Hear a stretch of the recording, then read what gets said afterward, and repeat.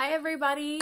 I wanted to talk about inflammation today. This is a really crucial subject, one that it's, it's so important, and it really could be the underlying cause and really where the root or the beginning of everything be started for you to head you down the path to hypothyroidism.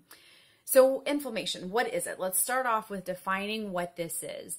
Inflammation is the body's immune response to something negative internal or external to the body. So let's say you get injured. Let's say you step on a nail or poke your finger and you're bleeding. Um, the um, the immune system um, comes to the rescue, and basically you'll see it begin to swell. You'll see it turn red. That process is the immune system actually coming to the rescue and trying to heal the body that is exactly what we need to happen. We actually have to have inflammation. It's actually very important to our healing process. It's what allows our body to heal.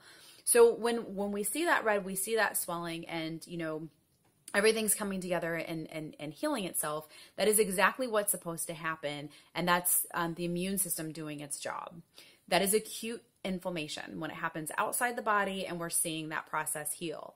The problem is we can also have internal inflammation, and internal inflammation is caused by um, an initial source. It could be something that you ingested that the body doesn't like, um, something that it thinks it's an invader, um, and it starts somewhere. Generally, it starts with other sources. It could be stress, it could be GMOs from your food, it could be something that you're just simply sensitive to. When it happens inside the body like that, that is called chronic inflammation Chronic inflammation builds and builds and builds over time if we don't get rid of the source. And it turns into much bigger issues. It turns into weight gain. It turns into fatigue. It turns into digestive upset. Um, it turns into skin issues, dry skin, itchy skin. It turns into depression. Um, it turns into puffy and, you know, waking up overnight feeling like you gained two or three pounds out of nowhere. These are all signs of inflammation. And they sound familiar, right? Um, so the signs for hypothyroidism and the signs for inflammation actually kind of go hand in hand. Um, so if you've ever felt that time where you've gone to bed, you wake up, suddenly you feel bloated, suddenly you feel puffy, suddenly your aches and pain, your joints are achy, suddenly you feel like you've gained a few inches in your belly and you're thinking, what on earth did I do? I didn't overeat yesterday. I'm exercising. I'm not even eating very much. These are signs of inflammation. And here's the big problem. As inflammation builds and builds and builds over time, because if you don't get rid of the underlying problem, it will continue. And inflammation will grow and it will grow and it will grow and it will lead to bigger issues, including autoimmune diseases. So Hashimoto's or even just simple simply a sluggish thyroid, which would be hypothyroidism. So, as this builds over time and as things continue to get worse, the body and the immune system begins to become desensitized to what is coming inside your body. Um, it, it, happens over and over and over and over again. And if it happens, starts happening too much, the immune system can't recognize what a real invader is and what is not. So now, what something that you were perfectly fine with six months ago, you might be eating now, and the body's thinking, oh, that's an invader. I need to attack it. I need to get rid of it and get it out of the body. So it's going to start attacking that as well. This continues to build and build and build, and suddenly you become more and more sensitive to more and more foods. The bigger issue that we have here is that not only is it attacking within your body what it thinks is an invader, it will begin attacking tissue and organs with your body as well, which leads to more and more autoimmune diseases. So, for example, you may start off with, let's say, um, gluten was never an issue for you. And gluten is the protein part of the grain that is found in wheat. It's called gliadin. And this protein, you know, as you begin to have a little bit of inflammation in your body, you you may already be sensitive to gliadin. Many of us are. It's actually a really really common sensitivity, and we're told to eat grains all the time. And wheat is really good for you. Always get 100% wheat. The problem is this is not a requirement in our diet in any way shape or form. Grains are not bad for you. They're they're good for you. However, within the body, they can cause a lot of sensitivities. And a lot of people, it's a really, really common thing to actually be sensitive to that particular um, type of protein found in wheat. So that is why gluten is such a big issue for us because it's a really common trigger. So that's why we need to get gluten out of the body. So, in addition to that, as we eat gluten, we're taking it in. And maybe initially it's not so bad. Maybe initially everything's fine. You don't notice a difference. Everything's okay. It's like, I'm not allergic to gluten, but remove it from your body. Allow things to settle down. Allow your immune system to actually come back on track. And you will notice that your inflammation will settle down. And it might not be just gluten, it could be a number of different things. And like I said, these things build and build and build over time. But here's the thing about gluten the gluten on a molecular level actually looks like your thyroid. Um, it's very, very similar. So within the body, if you are eating gluten all the time, you have a heavy gluten diet, which most of us did and do in the past. Um, you know, we're eating it all the time, and suddenly your body begins to attack gluten because it thinks it's an invader. There's there's a sensitivity there. It begins to attack gluten. Well, because your thyroid looks similar to gluten, now your thyroid is going to go under attack. And when your thyroid goes under attack, that's Hashimoto's. That is leading to an autoimmune disease. So you don't recognize this. You don't know this is what's happening. And all of a sudden, you're diagnosed with hypothyroidism because your thyroid is slowing down. Well, there's nothing wrong with your thyroid, at least as of yet. The problem is this outside invader that's coming in and slowing down your thyroid, attacking it, causing it to actually slow down. So, as this happens over and over and over again, you think, okay, I have hypothyroidism. You begin to take medication, but you don't solve the problem by removing gluten from your diet. The inflammation continues. The inflammation begins to build and build and build more and more and more. Guess what happens? Bigger autoimmune and more autoimmune diseases continue to grow. You um, now become more inflamed. Your muscle joints begin to ache. You may begin getting arthritis. Um, you uh, feel puffier and puffier. Uh, it's going to lead to bigger fatigue because um, your brain can actually swell, which um, leads to more and more fatigue. Um, your skin gets more and more dry, leading to you know bigger issues with with your your dry patchy skin and eczema.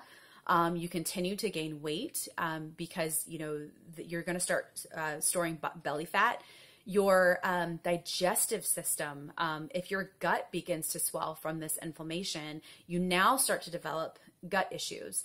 And gut issues are also another issue for your thyroid. So, as your gut begins to become inflamed, you're going to stop absorbing certain nutrients. Um, and your body's going to think you're going into starvation mode because it's not getting what it needs.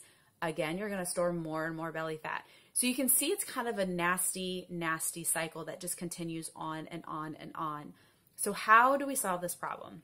We need to reduce and get rid of inflammation. We need to allow our immune system to slow down, take a step back, and say, Whoa, okay, finally, we've gotten rid of all the triggers, we've gotten rid of all the invaders, and we're doing what we're supposed to do. So, when we get those things out of our diet, and in a lot of cases, it's temporary. Um, so we get those things out of our diet, and you know you can eliminate for starting two weeks and see how you feel. Three weeks, four weeks, five weeks. Um, so get these things out of your diet. Let your immune system calm down and let things kind of happen naturally, and you will notice that the puffiness and that the bloating and that the aches and pains and the fatigue and all these different things are going to begin to lift and they're going to begin to go away. So now what do we do? We need to continue forward with an anti-inflammatory diet. So first let's talk, talk quickly about the foods that cause inflammation. Foods that cause inflammation or things that cause inflammation, um, GMOs. Um, so anything like pesticides and those types of things that are in your food, like corn. Unfortunately, corn is pretty much always GMO. So that's the bad thing about corn. Um, so GMO items, you've got gluten, I've already mentioned. Um, stress is an issue dairy can be an issue for many people. And a lot of people find that, you know, long time ago they were fine with dairy. Dairy never bothered them at all, but suddenly now they're sensitive to dairy. There's a reason behind it, and it's because that inflammation has built over and over and over again. So dairy is a common trigger. Eggs can be a common trigger for some people, and I, eggs are naturally anti-inflammatory, but those are a protein that actually some people are very sensitive to. So eggs can be an issue for some. Um, sugar, uh, refined sugar. just sugar in general, too much sugar, um, spiking your insulin, and you know causing those types of issues. Sugar is a problem um, for inflammation. Um, artificial ingredients and your bad carbs. So that's kind of a good list of, different things. And I have another list for you as well that has, you know, more foods on there that are inflammatory as well. But obviously your processed foods, anything in a box um, that's not a real ingredient, those are all going to be inflammatory as well. So, what are we going to do to get rid of this? Well, we need to start working towards an anti inflammatory diet. We need to get these foods, and some of them are personal triggers. And that's the thing. We've got to basically go in and eliminate every common food. So, start, I, I recommend starting with um, gluten, soy, and maybe even dairy. That's kind of like the trifecta. That is a beautiful trifecta to begin with because you don't need to overwhelm yourself and basically, you know, eat a piece of chicken and lettuce every day. that is not the that's not the idea behind here. You just need to start somewhere. And if you aren't sure where to start, the trifecta is beautiful. And if that is too much, start with gluten. Gluten is the big one. So get that out of your diet, begin there, and then build from it. So if you can do the trifecta, that is what I consider the trifecta. You can do gluten, soy, and dairy. Those are the three big ones.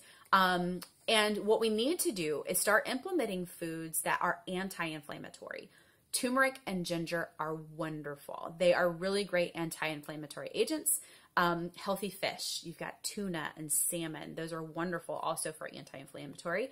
Obviously, your vegetables. Um, some people are more sensitive to nightshades. Um, nightshades are going to be like your peppers and eggplant, that type of thing.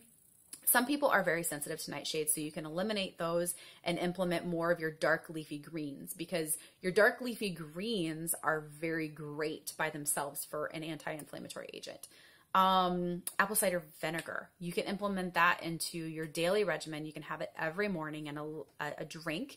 Um, add some lemon juice, add some ginger to it. It is a wonder, wonderful morning anti-inflammatory drink.